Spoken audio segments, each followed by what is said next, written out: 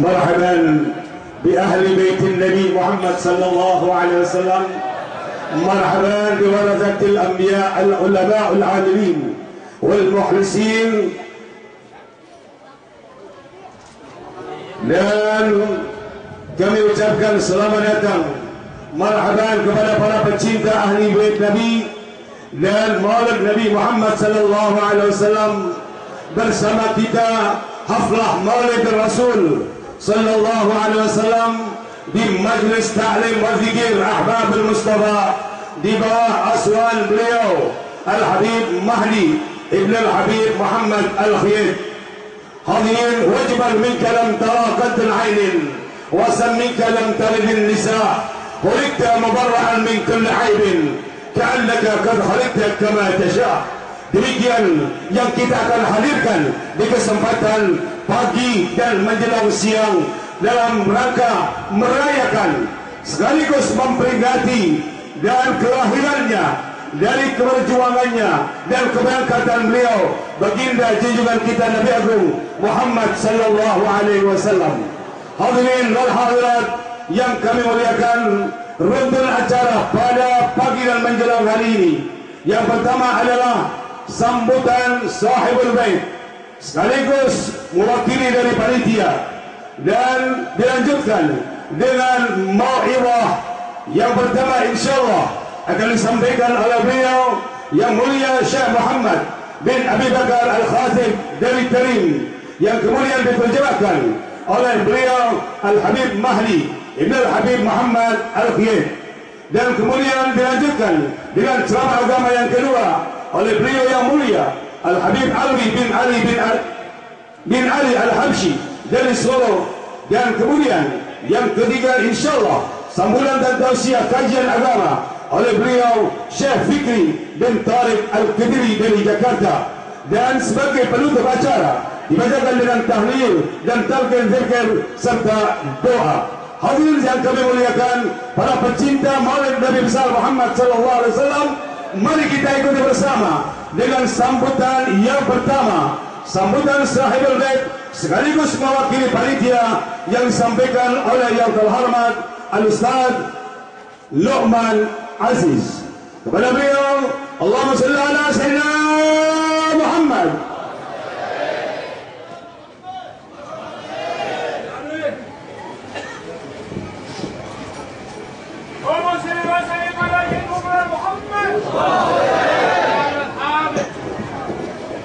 السلام عليكم ورحمة الله وبركاته. الحمد لله الذي هدانا بعبده المختار من دعانا إليه بالإذن وقد نادانا لبيك يا من دلنا وحدانا. صلى عليك الله بارئك الذي بك يا مشفع خصنا وحبانا. مع آلك الأطهار مع دزن سرك الأسماء فهم سفن النجاة حمانا. وعلى صحابتك الكرام حماة دينك أصبحوا لولائه عنوانا. والتابعين لهم بصدق ما حدا حاد المودة هيج الأحيان ساداتنا الكرام أهل بيت رسول الله صلى الله عليه وسلم. Para habaib, para syaraif, orang-orang mulia, orang-orang suci yang kemuliaan dan kesuciannya diabadikan oleh Allah Subhanahu wa taala. Kita semua mengikuti kemuliaannya. Kita semua mengagungkan dan memuliakannya atas perintah Allah Subhanahu wa taala. Keagungannya dibuktikan oleh Allah Subhanahu wa taala. Di dalam ayat Al-Qur'an antara lain innama yuridullahu liyudhhiba 'ankum ar-rijsa ahlal bait wa yutahhirakum tathhira ketika kita membaca ayat sampai kepada ayat Qul la as'alukum alaihi ajran illa al-mawaddata fil qurba. Maka beliau-beliau adalah yang dimaksud dengan al-qurba. Semoga kita semua yang hadir di sini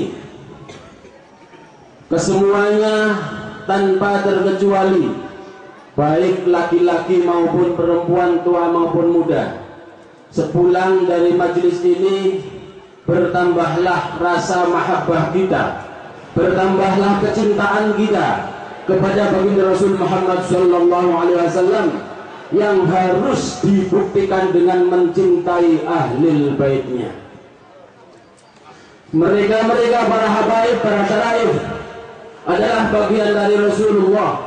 Sebagaimana ulama mengatakan, fahum minhu wa ilaih wa aqrabun nasi ladaih. Orang-orang terdekat kepada Rasulullah sallallahu alaihi wasallam. Kecintaan kita terhadap mereka-mereka adalah wajib sebagai bukti keimanan kita kepada Rasulullah kepada Allah Subhanahu wa taala. Sebab bukti daripada kecintaan kita terhadap Ahlul Bait adalah merupakan takaran seberapa kadar keimanan kita kepada Allah Subhanahu wa taala. Yang mudah-mudahan kita semua senantiasa diberikan rasa mahabbah. Dan rasa mahabbah ini akan tertanam semakin hari semakin tumbuh subur hingga bisa diwariskan kepada anak cucu kita semua. Amin. Amin Allahumma amin. Hawlatan muhtaramin wal mukarramin Para alim ulama Para masyayikh, para kiai Yang mudah-mudahan semuanya hadir di sini juga atas dasar mahabbah kepada Rasulullah sallallahu alaihi wasallam.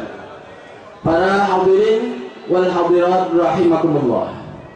Mewakili guru mulia Khadimil Markas atau Khadimil Majlis Taklim dan Zikir Ahbabul Mustafa Pertama ingin menyampaikan bahwa Majelis Ahbabul Mustafa di bawah asuhan beliau Fadilat Sayyid Al-Habib Ahmad Mahdi bin Muhammad bin Murtadu Al-Hayat. Dalam program yang sudah dilaksanakan atau yang akan dilaksanakan antara lain telah mengadakan kegiatan. Setiap malam hari Selasa kajian kitab Manhajus Sawi dan juga zikir Khulasatul Madad An-Nabawi. Kemudian setiap Selasa akhir bulan diadakan ziarah aulia di sekitar Tegal dan sekitarnya. Kemudian di malam Sabtu, setiap malam Sabtu diadakan kajian Ihyaul Mayyit ala fadaili ahli bait kemudian kitab Asy-Syaraful Mu'abbad li Ali Muhammad dan juga kitab Suluk Tariq Ilallah kemudian selain di hari Selasa dan hari Sabtu juga ada program One Day One Juice, One Week One Juice yang secara umum juga ada grupnya di media online, audio atau sosial media yang setiap hari Selasa berarti mengadakan khatmil Quran. Mudah-mudahan barokah. Amin. Allahumma amin. Selain itu beliau juga mengasuh di beberapa majelis-majelis di sekitar daerah Tegal, Brebes, Pemalang dan sekitarnya. Mudah-mudahan beliau guru mulia kita Al Habib Ahmad Mahdi bin Muhammad bin Murtadha Al Hayat senantiasa diberikan kekuatan lahir batin diberikan kesabaran untuk membimbing kita semua menuju jalan yang diridhoi Allah Allah Subhanahu wa taala. Kepada para habaib ahli bait Rasulullah sallallahu alaihi wasallam, mudah-mudahan senantiasa memberikan ziyadah doa untuk kelangsungan majlis guru kami atau guru kita Ahbabul Musola.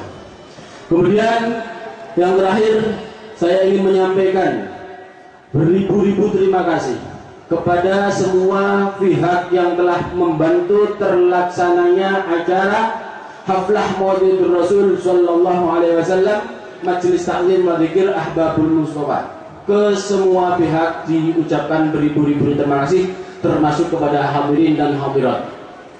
Selanjutnya permohonan maaf yang sebesar-besarnya. Barangkali kehadiran kita semua di sini kurang mendapatkan kehormatan. Kami sudah mengupayakan secara maksimal supaya bisa menghormat dengan lebih baik. Tapi kenyataannya hanya ini yang bisa kami suguhkan. Mohon maaf yang sebesar-besarnya. Mudah-mudahan kita semua dengan niat baik, niat yang ikhlas akan mendapatkan rahmat Allah Subhanahu wa taala dan mendapatkan ridho Allah Subhanahu wa taala. Kurang lebihnya wassalamualaikum warahmatullahi wabarakatuh. Terima kasih kami sampaikan kepada beliau Al-Ustaz Nu'man Aziz yang mewakili sahibul bait sekaligus sahibul maulid dan kemudian panitia rangkap di dalam ucapannya. Hadirin sekalian yang saya muliakan, tiba saja untuk kita mengawali di dalam mau'izatul hasanah. Yang pertama akan disampaikan oleh yang mulia beliau Syekh Muhammad bin Abi Bakar Al-Khatib dari Yaman. Kemudian diiringi dengan penterjemahnya oleh beliau Al-Habib Mahdi Ibn Al-Habib Muhammad Al-Khalid وبلغنا اللهم صل على سيدنا محمد. اللهم صل على سيدنا محمد. وبقلوب الصلاة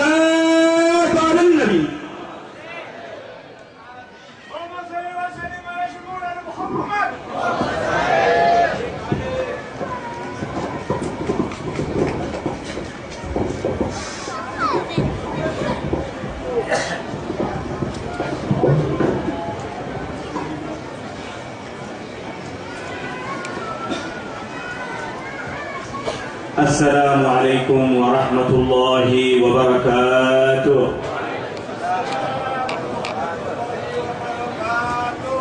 فحمدا لرب خصنا بمحمد.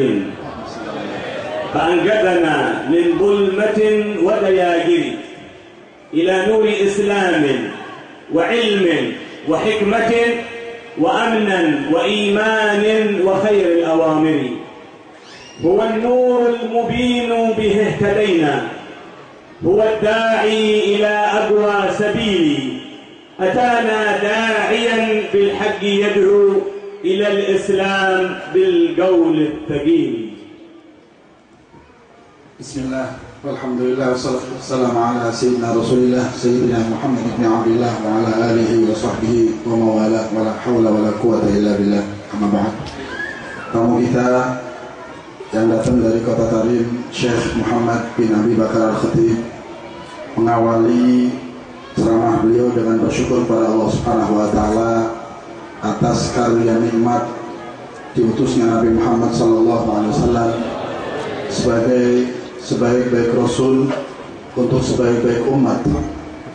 Beliau menyampaikan syair yang intinya adalah kita ini mendapatkan kebaikan dari Allah melalui Nabi Muhammad sallallahu alaihi wasallam dan berbagai macam kemuliaan berkat Nabi Muhammad sallallahu alaihi wasallam. نحمد الله سبحانه وتعالى الذي جمعنا وإياكم في هذا المجمع المبارك مجمع المحبة مجمع المودة مجمع الصلاة والسلام على سيدنا محمد صلى الله وسلم وبارك عليه وعلى آله Beliau juga bersyukur pada Allah Subhanahu wa taala yang telah mengumpulkan kita di satu majelis mulia. Majelis yang penuh dengan kecintaan, majelis yang penuh dengan kasih sayang, majelis yang penuh dengan kerinduan kepada Nabi kita Nabi Muhammad sallallahu alaihi wa alihi wasallam. يقول سيدنا محمد صلى الله عليه وسلم في الحديث ما قعد قوم يذكرون الله سبحانه وتعالى إلا نزلت عليهم السكينة وغشيتهم الرحمة وحفتهم الملائكة وذكرهم الله في من عنده Nabi Shallallahu Alaihi Wasallam bersabda dalam sebuah hadis, tidak duduk satu kaum di satu majelis untuk berzikir mengingat Allah Subhanahu Wa Taala kecuali di majlis tersebut Allah turunkan rahmat. Allah turunkan as-sakinah ketenangan yang meliputi jiwa kita. Allah subhanahu wa ta'ala kirim malaikat yang hadir kumpul bersama kita dan yang paling istimewa adalah Allah subhanahu wa ta'ala. Untuk orang-orang yang berpikir mereka disebut namanya di hadapan para malaikat Allah dengan sebutan yang mulia. Jama'atna في هذا المجمع المبارك كلمة لا إله إلا الله محمد رسول الله صلى الله عليه وسلم. جمعت الناس ربما هذا من هنا وهذا من هنا وهذا جاء من أماكن بعيدة وكل ذلك من أجل محبة هذا الحبيب المصطفى سيدنا محمد صلى الله عليه وسلم Allahumma salli alaihi. Allah Subhanahu wa taala kumpulkan kita di satu majelis satu majelis yang dihadiri oleh berbagai macam orang yang datang dari berbagai macam tempat. Beliau menyebutkan sebagian datang dari tempat tertentu dari wilayah yang masing-masing beda, bahkan ada yang datang dari luar negeri. Kumpulnya kita di sini yaitu satu untuk satu kecintaan terhadap Nabi kita Nabi Muhammad sallallahu alaihi wasallam. هذه المحبة لله ولرسوله صلى الله عليه وسلم أمرنا الله بها وأمرنا النبي بها وقال تعالى قل إن كنتم تحبون الله فاتبعوني يحببكم الله ويغفر لكم ذنوبكم والله غفور رحيم.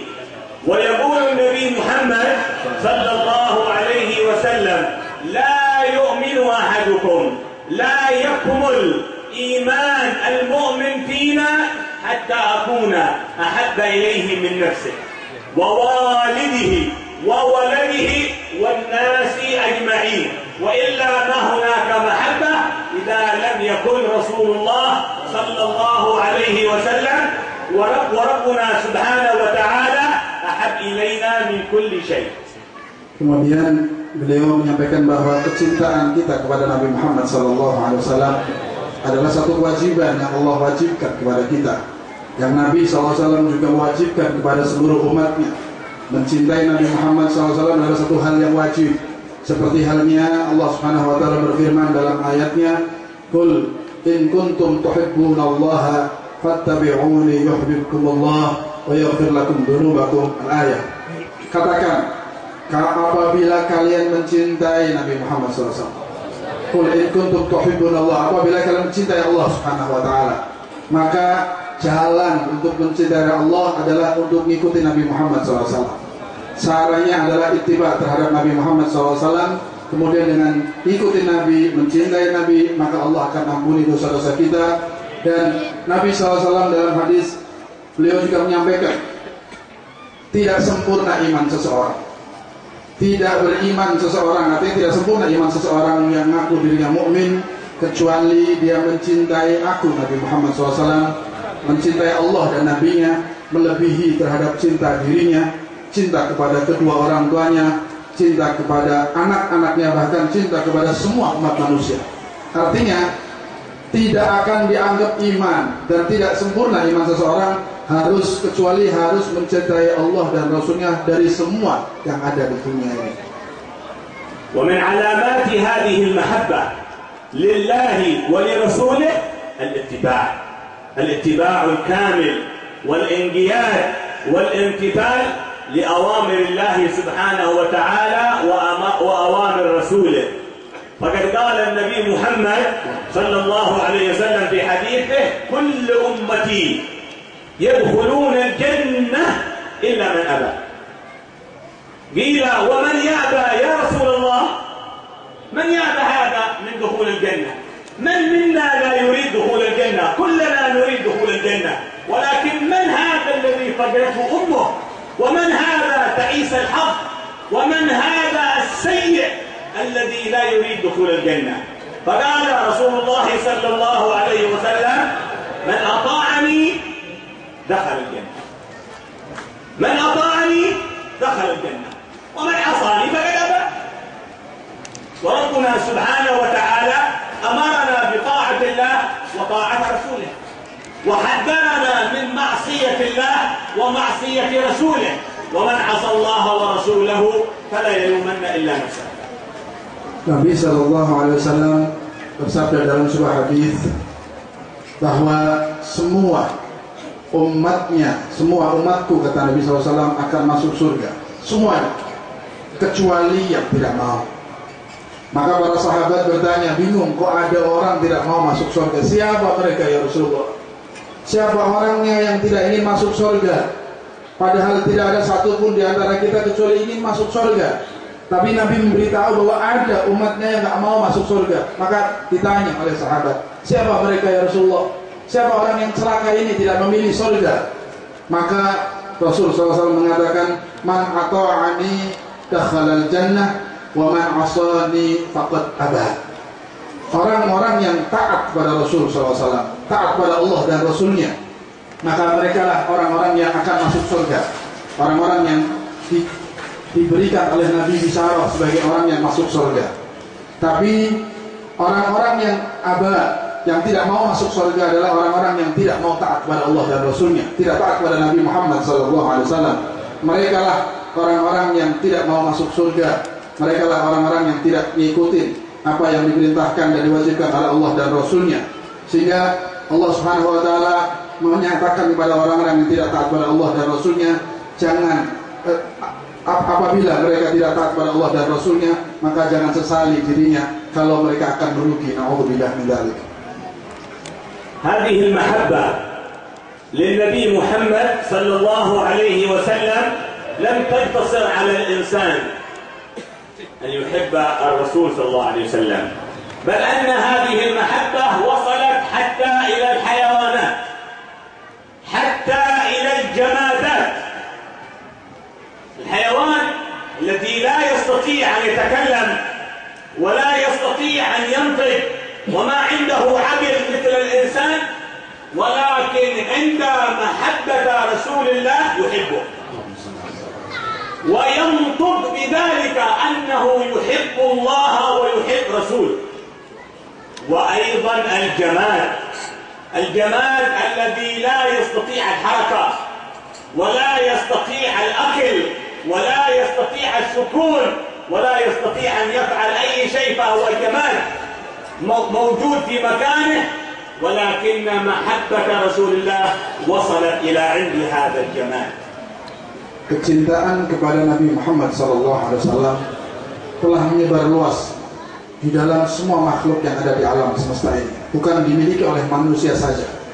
Bahkan beliau menyampaikan hewan, hayawan itu juga merasakan cinta dan rindu kepada Nabi Muhammad SAW. Mereka memiliki rasa cinta kepada Nabi Muhammad SAW.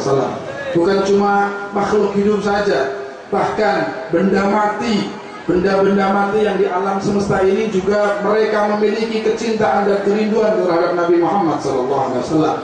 Bahkan di antara hewan yang tidak punya akal seperti manusia ini, mereka sampai bisa mengucapkan ucapan cinta, mengungkapkan rasa cintanya kepada Nabi Muhammad SAW. Dan benda-benda mati yang lainnya pun yang tidak punya kekuatan untuk bergerak, tidak punya kehidupan, mereka memiliki rasa cinta yang dalam terhadap Nabi Muhammad sallallahu alaihi wa alihi wa sahbihi wasallam. فهذا الحب للنبي محمد صلى الله عليه وسلم كان الصحابة الكرام يحبون الرسول محبة اعتجنت في أجسادهم وتغلغلت داخل قلوبهم حتى هذه المرأة في غزوة أحد عندما جاء الخبر بأن رسول الله قد قتل في غزوة أحد فخرجت بدون شعور وبدون أحاسيس وتبحث عن رسول الله صلى الله عليه وسلم وتسأل عن حاله. فإذا برجل يقول لها يا امرأة إن أبوك قد قتل في هذه الغزوة. فكانت تقول وماذا فعل رسول الله؟ ماذا فعل الرسول؟ لا تهتم بأبيها وإنما كان همها وشغلها هو أين رسول الله؟ ماذا فعل رسول الله؟ فإذا بهذا الآخر يقابلها ويقول لها إن ابنك قد قتل. فلذت الكبد. ابنها ابن بطنها الذي جلس في بطنها تسعة أشهر قتل في هذه الغزوة. ولكن لا تبالي. أين رسول الله؟ ماذا فعل رسول الله؟ يقول لها الآخر إن زوجك قد قتل. الزوج قتل. فقالت لهم ماذا فعل رسول الله؟ أين رسول الله؟ يقول الآخر إن أخوك قد قتل. أين رسول الله؟ أين فعل رسول الله؟ فقالوا لها إن رسول الله بخير والحمد لله وهي لا على قيد الحياة قالت لا. لا يطمئن قلبي حتى أراه بعيني. ولم يحدى بالي حتى أكحل عيني برؤيا رسول الله. فذهبوا بها إلى خيمة النبي محمد ورأت النبي صلى الله عليه وسلم واقفا فأخذت بثوبه وتقول له كل مصيبة بعدك يا رسول الله فهي جلل يعني هينة يعني يسيرة يعني دنيئة إذا كان أنت على قيد الحياة يا رسول الله Allahumma shalli alaihi. اللهم صل وسلم وبارك على سيدنا محمد Beliau menceritakan tentang cinta terhadap Nabi SAW yang dimiliki oleh para sahabat-sahabat Nabi Muhammad SAW. Kecintaan yang dimiliki, kecintaan kepada Nabi Muhammad SAW yang dimiliki para sahabat sudah menjadi satu keyakinan yang mendarah daging kepada mereka. Ke- keja- je- jadi kehidupan, jadi satu hal yang menyatu dalam jiwa, yaitu mencintai Nabi Muhammad SAW. Para sahabat Nabi semuanya mencintai Nabi luar biasa. Sampai beliau menceritakan satu kisah seorang wanita, seorang sahabiah, seorang sahabat wanita di saat terjadi perang Uhud. Di saat terjadi perang Uhud, di peperangan setelah terjadi perang Uhud selesai, kemudian ada satu kabar, ada satu berita yang muncul di tengah medan perang bahwa Nabi telah terbunuh. Nabi terbunuh di medan perang saat perang Uhud. Wanita ini seorang sahabiah, seorang wanita yang soleha yang cinta Nabi Muhammad SAW. Gak kuat mendengar berita bahwa Nabi terbunuh di medan perang. Keluar dari kemahnya, gak sadar. Keluar mengampiri pasukan muslimin, ingin tahu tentang kondisi Nabi Muhammad SAW. Tanpa sadar, karena rindu, karena mendengar kabar bahwa Nabi terbunuh, mereka atau beliau keluar dari khemahnya menuju satu tempat di mana mereka berperang, menjumpai pasukan muslimin dengan satu-satu ditanya bagaimana keadaan Nabi Muhammad SAW. Di mana Nabi? Bagaimana kondisi Nabi Muhammad SAW? Ketemu satu muslim, satu pasukan muslim mengatakan, wahai wanita, ayah kamu terbunuh tadi barusan di medan perang ini. Gak peduli, diberitakan bahwa ayahnya terbunuh, wanita ini gak mendengarkan. Yang dicari adalah kabar tentang Nabi Muhammad SAW. Bagaimana keadaan Nabi? Bagaimana keadaan Rasul? Di mana Nabi? Terus mendekat, mencari kabar. Datang lagi, satu sahabat mengatakan, wahai perempuan, barusan putra kamu yang ikut perang di sini di medan Uhud ini juga terbunuh. Maka perempuan itu nggak mendengarkan informasi padahal anaknya yang terbunuh. Padahal darah dagingnya yang terbunuh. Padahal putranya yang dari kecil dikandung 9 bulan kata beliau sampai besar ikut perang terbunuh dengar kabar nggak peduli yang dipikirkan dalam pikirnya ada Nabi Muhammad SAW. Bagaimana keadaan Nabi? Jalan terus ketemu lagi satu sahabat mengatakan wahai wanita suami kamu terbunuh. Suami kamu juga jatuh dalam medan perang Uhud ini. Nggak peduli yang dalam pikiran wanita dan hatinya adalah Nabi Muhammad SAW. Kabar Nabi bagaimana? Keadaan Nabi bagaimana? Di mana Nabi saat ini? Terus mencari sampai ketemu yang keempat, ngasih tahu saudara kamu juga terbunuh di medan perang hari ini. Maka wanita itu nggak mendengarkan ucapan itu. Yang ingin tahu jawaban adalah kondisi Nabi Muhammad SAW. Di mana Nabi? Mana kabar Nabi? Bagaimana selamat? Aku dengar Nabi terbunuh. Bagaimana keadaan Nabi? Akhirnya ketemu satu orang yang tahu Nabi selamat mengatakan Nabi dalam keadaan baik. Nabi nggak terbunuh. Ada. Saya nggak nggak bisa tenang hati saya. Saya nggak akan tenang sebelum saya lihat mata saya melihat betul Nabi itu hidup, betul Nabi itu selamat. Tunjukkan di mana Nabi. Terus mencari sampai satu kemah melihat setelah lihat Nabi Shallallahu Alaihi Wasallam dalam keadaan berdiri dan selamat tidak terbunuh dalam kabar yang sebelumnya takut terbunuh ternyata Nabi masih selamat masih hidup maka perempuan itu duduk mengatakan ya Rasulullah wahai Rasulullah semua musibah anaknya meninggal suaminya meninggal ayahnya meninggal, saudara laki-lakinya meninggal, semua musibah kecil ya Rasulullah kalau saya sudah melihat engkau selamat. Semua yang gak ada nilainya, yang penting engkau selamat. Nabi SAW dicari, padahal anaknya meninggal, istri, eh, suaminya meninggal, saudaranya meninggal, gak didulikan. Rasa cinta yang mendalam di kalangan para sahabat terhadap Nabi Muhammad SAW sampai seorang wanita, seorang wanita, sahabat wanita begitu cintanya kepada Nabi Muhammad SAW.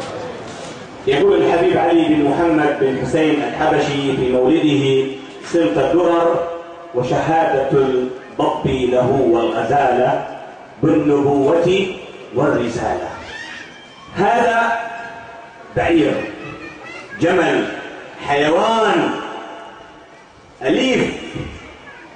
يقول الله فيه أفلا ينظرون إلى الإبل كيف خلقت؟ هذا الجمل في يوم من الأيام يتوحش على صاحبه. ويضطرب اضطرابات ويتحرك تحركات غريبة حتى خاف صاحبه منه فهرب. فخرج هذا الجمل يجري ويضطرب أمام الناس فأصبح الناس يخافون من هذا الجمل ما هو هذا الجمل الأليف الذي اليوم توحش؟ وأصبح يريد أن يأكل الناس وأصبح اليوم أن يؤذي الناس. حتى أصبح الناس خائفين من هذا الجمل ويهربون حتى جاءوا إلى حديقة من الحدائق. فتحوا هذه الحديقة ودخل الجمل فيها وأقفلوا هذه الحديقة والكل كان خائفا من هذا الجمل. من هذا الجمل؟ ما الذي أثاره؟ وما الذي جعله يتوحش؟ حتى جاء النبي محمد صلى الله عليه وسلم قال ما لي هذا الجمل؟ قالوا يا رسول الله لا ندري. قالوا أين هو الآن هذا الجمل؟ قالوا يا رسول الله داخل الحديقة. قال افتح الحديقة. قال يا رسول الله أنا نخاف أن يأكلك هذا الجمل أو يضربك هذا الجمل أو يعمل يعمل بك شيئا.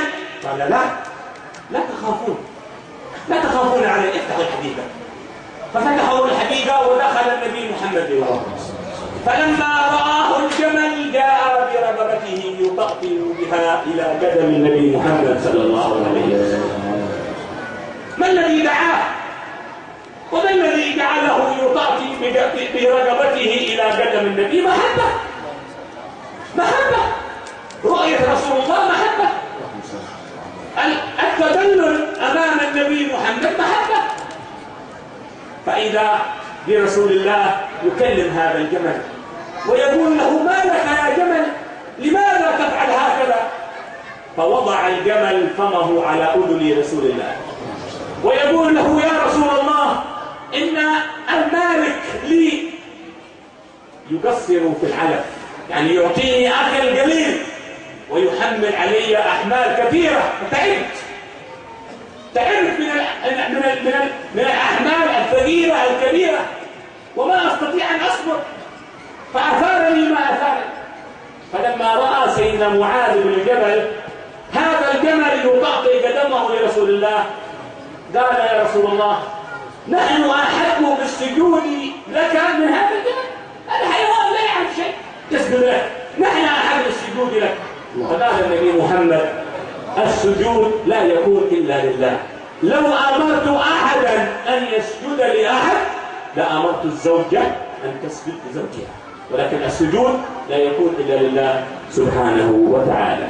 Kemudian beliau melanjutkan ceramahnya tentang cinta terhadap Nabi Muhammad SAW yang dimiliki bukan hanya oleh para sahabat, oleh para manusia. Yang beliau sampaikan juga para hewan, hewan juga memiliki cinta yang mendalam terhadap Nabi Muhammad SAW. Satu ketika ada seorang yang memiliki jamal. Sebelumnya beliau menyampaikan satu riwayat dari Habib Ali bin Muhammad Al-Habsyi, satu bait dalam Maulid Simtuduror bahwa dop, biawak, kemudian ghazala, kijang, semuanya hewan menyaksikan kenubuahan, kenabian Nabi Muhammad SAW, mencintai beliau dengan benar, tahu betul Nabi Muhammad itu sebagai Rasul utusan Allah Subhanahu Wa Taala. Beliau menceritakan satu kejadian tentang unta, unta yang dimiliki oleh seseorang yang saat itu unta tadi tiba-tiba marah tiba-tiba melakukan gerakan yang tidak seperti biasa. menakutkan, membahayakan orang lain. Kadang-kadang sampai ingin mencelakakan orang yang di sekitarnya, sampai pemiliknya lari, kemudian ontanya lepas jalan. Orang-orang yang melihat onta yang tiba-tiba liar, yang tadinya onta itu sebetulnya jinak biasa dipakai oleh orang yang memilikinya, tiba-tiba liar, marah, bahkan menakutkan, mengkhawatirkan lingkungan, sampai akhirnya orang-orang tersebut menggiring onta tersebut sampai masuk satu kebun, satu taman yang ada pintunya kemudian ditutup karena membahayakan ingin merusak bahkan kalau lihat orang di sekitarnya ingin mencelakai karena tiba-tiba liar dan marah kota tersebut. Setelah masuk di kebun yang sudah dikunci, kemudian datang dilaporkan kepada Nabi Muhammad SAW datang ke tempat tersebut yang ada onta yang tadi marah-marah. Nabi mengatakan di mana ontanya? Itu di dalam Rasulullah. Tiba-tiba liar begitu. Tak tahu sebabnya apa. Kata Nabi buka pintunya. Saya mau masuk. Ya Rasulullah lagi marah ontanya. Liar bahaya nanti kau akan celaka kalau tiba-tiba lihat orang dia akan nerjang begitu saja. Kata Nabi biarkan. Buka buka. Buka ontanya saya mau lihat. Buka pintunya saya mau lihat. Akhirnya setelah Nabi maksa dibuka. Setelah masuk kebun tadi yang ada onta liar tadi begitu lihat wajah mulia Nabi Muhammad SAW begitu lihat Nabi Muhammad masuk ke kebun tersebut Onta itu jalan dengan pelan-pelan kemudian menundukkan kaki depannya sampai di depan Nabi sampai menundukkan kakinya sampai ke lutut bahkan mencium kaki Nabi SAW duduk mencium seakan-akan sujud di depan Nabi Muhammad SAW kemudian dengan kasih sayang Nabi terhadap hewan tadi rahmat terhadap hewan Nabi mendekatkan mulutnya membisikkan kepada onta. Apa yang terjadi pada kamu wahai onta? Kenapa kamu kok liar Dijak ngomong, diajak ngomong ontanya. Ontanya pun tahu. Yang diajak, yang ngajak ngomong Nabi paham. Ontanya berdiri, mengangkat mulutnya mendekatkan kuping Nabi Sallallahu Alaihi. Mendekati kuping Nabi kemudian ontanya mengatakan, wahai Rasulullah Sallallahu Alaihi aku ini hewan milik seseorang. Pemiliknya memberi makan saya sedikit. Makanan yang saya butuhkan tidak dipenuhi, bahkan kurang tapi kalau ngangkat beban, naruh beban di punggung saya berat, kerjanya banyak, bebannya besar, makannya sedikit, kurang perhatian. Dia tidak sayang sama aku. Dia selalu kasar, naruh beban banyak, suruh kerja terus, tapi tidak dikasih makan semestinya. Nuluh kepada Nabi Muhammad Sallallahu Alaihi Wasallam. Melihat kondisi semacam ini, sahabat terheran-heran. Melihat onta yang sujud, mencium kaki Nabi SAW sahabat mengatakan ya Rasulullah kalau onta hewan yang gak punya akal sujud sama kamu hormat cinta sama kamu. Yang menjadikan sujudnya onta adalah cinta. Cinta sama Nabi Muhammad SAW tahu bahwa beliau adalah kekasih Allah Subhanahu wa taala. Akhirnya sahabat mengatakan ya Rasulullah kalau hewan yang gak punya akal menghormati engkau sedemikian rupa sampai sujud maka kami para sahabat yang diberi akal oleh Allah. Kami manusia lebih berhak untuk sujud hormat kepada engkau wahai Rasulullah SAW kalau engkau izinkan kami. Maka Nabi mengatakan lah tak boleh. Karena Allah melarang sujud kecuali hanya untuk Allah Subhanahu Wa Taala. Sujud hanya untuk Allah Subhanahu Wa Taala. Walaupun onta tadi bersujud tapi onta itu takdim hormat bukan berarti ibadah. Manusia tidak boleh sujud kepada selain Allah Kata Nabi, kalau boleh sujud manusia dengan manusia, maka akan aku perintahkan seorang istri, seorang wanita yang punya suami. Kalau Allah izinkan ada orang sujud kepada orang lain, boleh. Padahal tidak boleh. Tidak boleh sujud kepada selain Allah Subhanahu Wa Taala. Nabi mengatakan, kalau boleh, kalau izinkan Allah manusia sujud sama manusia, maka akan aku perintahkan wanita-wanita sujud terhadap suaminya.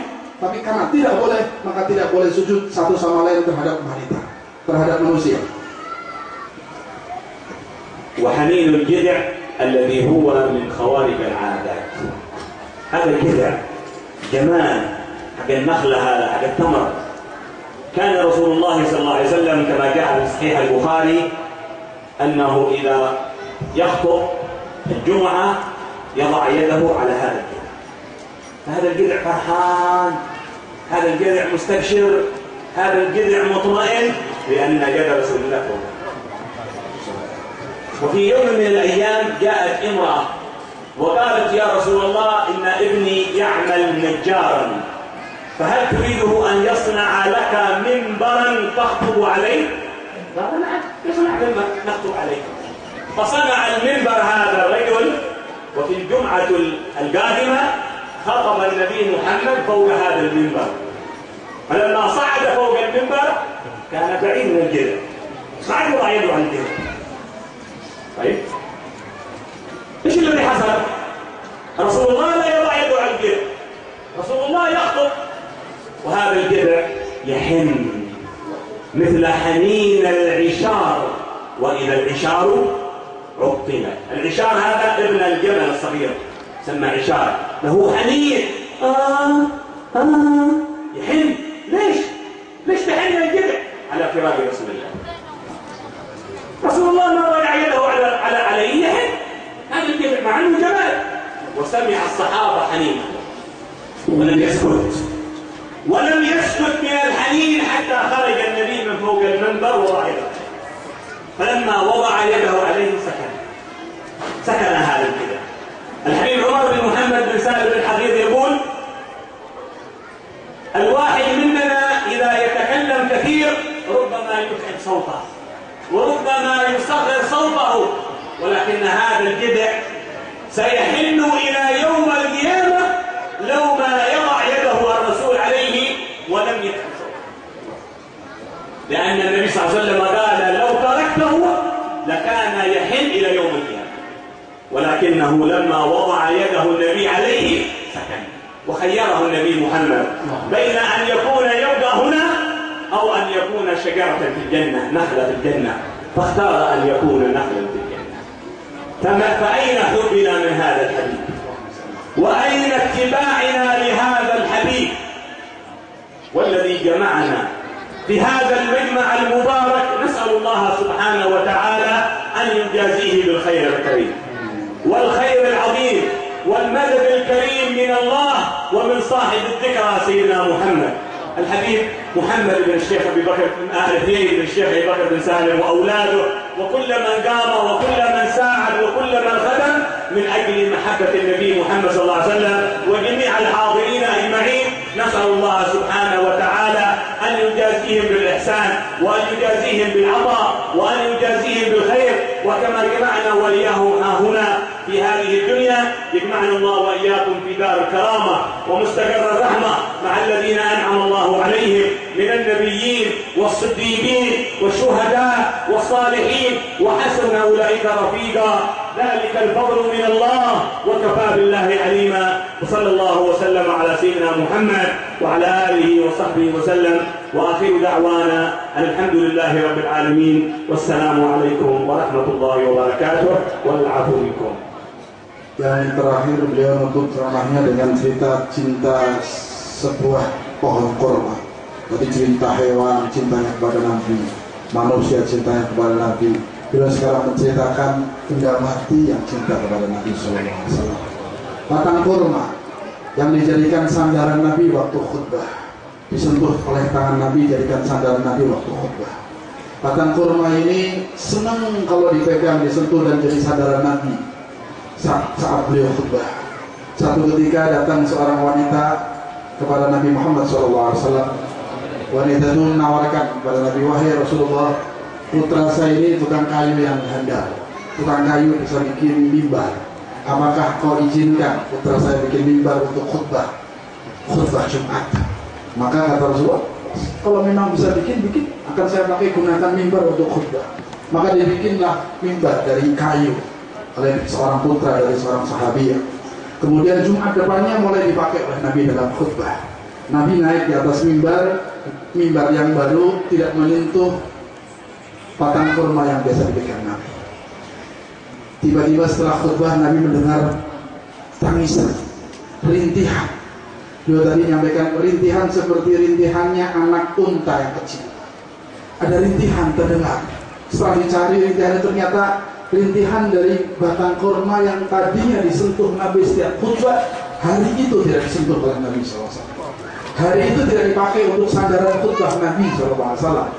Sedih batang kurma ini, nangis, merintih. Setelah mendengar ternyata muncul rintihan dari batang kurma tadi Nabi mendekat turun dari khutbahnya mendengarkan kemudian disentuh Nabi. Setelah disentuh baru mulai diam perlahan-lahan berhenti.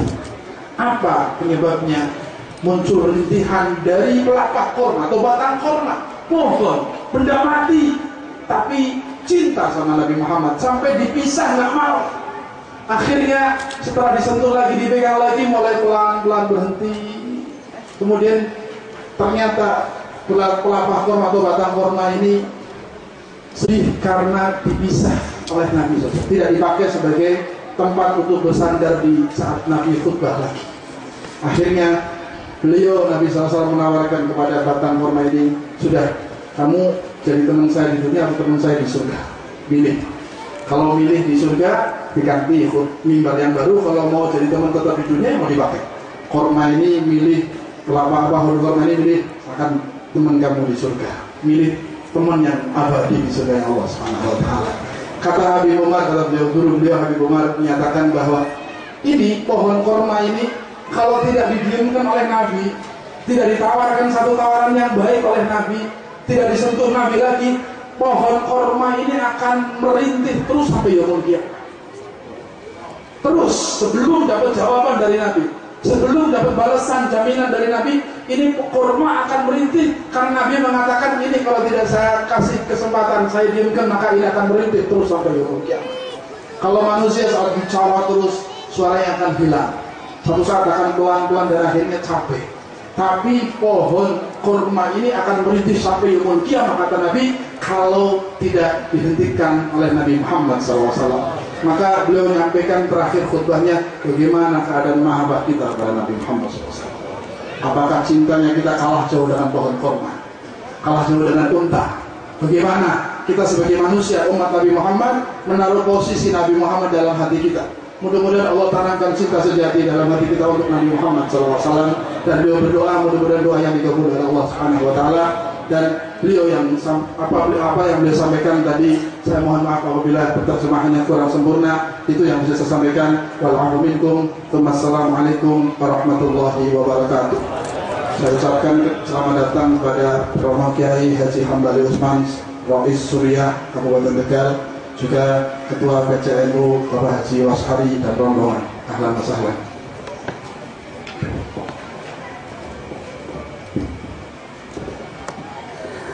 Hadirin sekalian yang saya hormati, ceramah agama yang pertama telah disampaikan oleh Syekh Muhammad bin Abi Bakar Al-Khatib dengan diterjemahkan oleh beliau Al-Habib Mahdi Ibn Al-Habib